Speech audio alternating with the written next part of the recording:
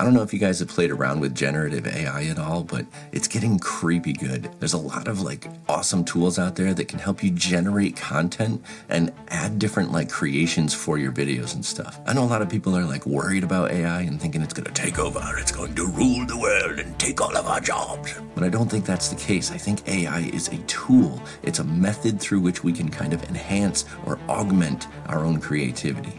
So I wanted to show you something really cool that I kind of stumbled across when I was playing with the actual AI features in Artlist.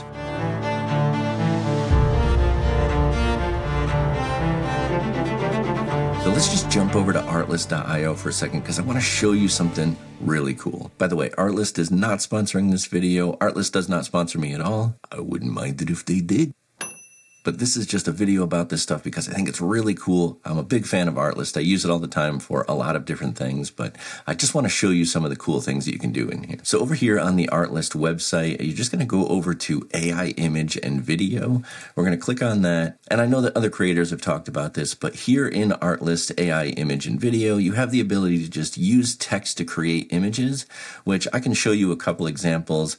So over here in my creations, you can see some of the things that I've created so far. I'm just going to kind of go way back in time because some of this might look familiar. So I was kind of playing around at the beginning when it first came out, and I had it kind of create a gorilla, I had it create a car, I had it create some kind of like different air balloons and stuff. But this guy right here you might recognize because he was in another video that I did talking about removing a background. So this was actually generated with Artlist. And I think this was the actual video that I used of him kind of walking through the city. I've kind of generated a bunch of stuff, and all of these were generated via text. So I basically just told Artlist what it was I was looking for, and it generated it for me. This troll right here, you might recognize. He's from another video, of course. That's this guy right here, and I think I did a few different versions of him like that. I was also kind of just playing around with AI here to see if I could get the person kicking the soccer ball. So when I was talking about the lockdown effect, I was trying to generate an actual video of somebody kicking a soccer ball to try to get a better version of what I wanted.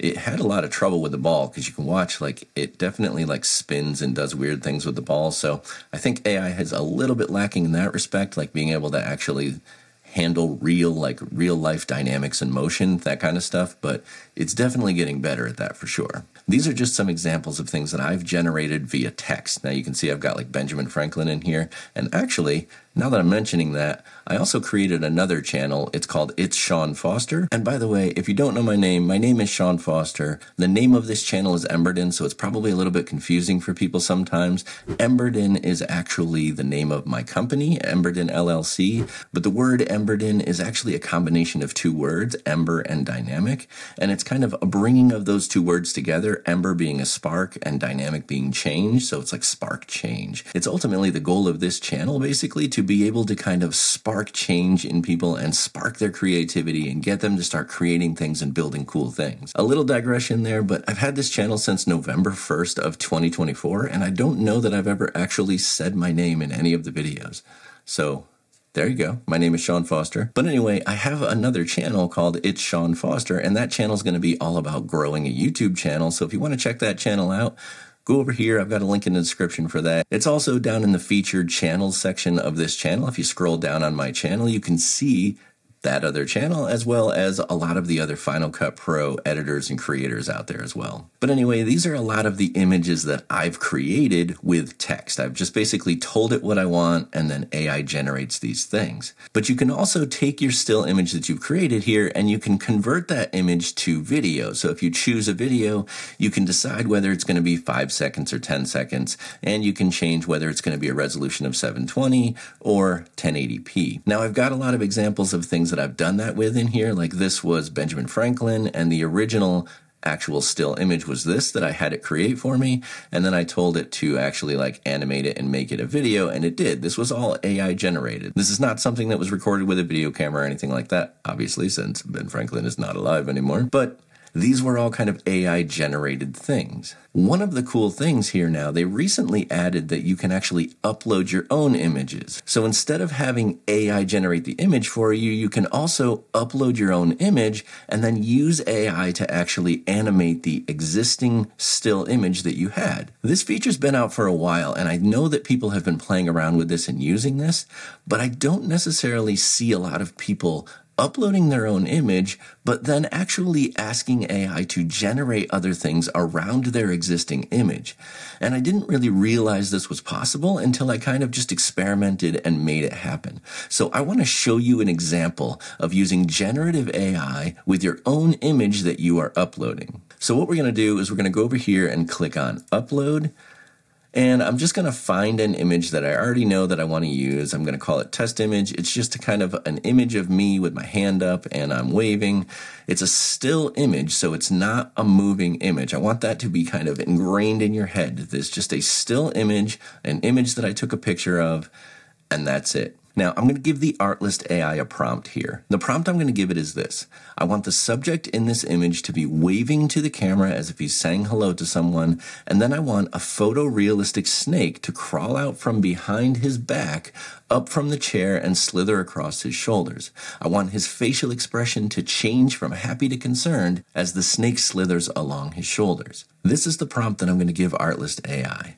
I'm also going to change the duration from 5 seconds to 10 seconds, and I'm going to set the resolution to 1080p because I'm ultimately going to export this so that you can see it in the end. But the cool thing that I found out here is that you can take your existing still image and you can have Artlist's AI actually generate content within that image and add to it as well. So using this kind of generative AI, we can enhance and augment the images that we already have. So all you have to do now that you've given it a prompt is you need to click the animate button. So whenever Artlist actually goes through and starts to generate your video, it's going to show you this right here. It'll say generating video and it takes a few minutes. So far what I'm seeing is this can take anywhere between like 5 and 20 minutes depending on the complexity of what you're generating. Honestly, most of the time it's pretty quick. It's usually around 5 minutes for me. And by the way, while this is generating here, I want you to actually pay attention to this alien dude right over here because he is going to be featured in an upcoming video. Okay, so this is the finished result here, and I want you to watch this, okay? First of all, it's not perfect, of course, right? There's going to be things that are wrong with it, like the snake kind of morphs and does some weird things. Sure. It's not perfect. AI is not going to be perfect yet. We're not there yet. But I want you to notice some crazy things here. So, first of all, it added teeth to this, right? When he starts to smile, it added teeth. Look at like the jiggling of the hand. It's kind of like actually really moving, like actual like flesh would move. Okay, there's like weight to all of the things here, right? It's not actually glitching at all. It's actually kind of moving. And if you look at like the skin and the way that the skin is moving and stuff, it's moving with the structures of the actual like muscles in the face and all that and the wrinkles and everything. It's a little bit creepy how good it actually is. And also just notice like as I kind of move around here, the chair is moving too. AI is smart enough to realize that this chair needs to move a little bit. It actually added this little pillow behind me too. See that pillow? It's kind of like shiny. The real pillow on this chair looks nothing like that, right? So AI added that in. Crazy. Amazing. But the thing that blew me away with this is this generative AI here, the snake that got added in here. It's around my neck. It's actually kind of casting shadows. It's the light is bouncing off of it from the right direction from the window over here it's kind of amazing how actually good this really is. It's a little bit creepy, kind of the facial expressions that this thing is giving me. It's weird. It's weird, creepy, good. And I kind of love it. I just absolutely love how good this is at actually adding generative AI into this scene. Remember that this was a completely still image. AI has like added teeth, added smiles. It's making me smile. I'm win- my my eyebrows are changing. It's crazy how good this is. Now, if you look in here, there is kind of the typical AI weirdness going on, right? Like the snake kind of slithers down here, but his tail kind of morphs and does weird things. So, like I said, it's not perfect, but it is pretty good. It is pretty good. It's actually creepy how good this is. So let's just take a look really quick, full screen, at what the final video here looks like.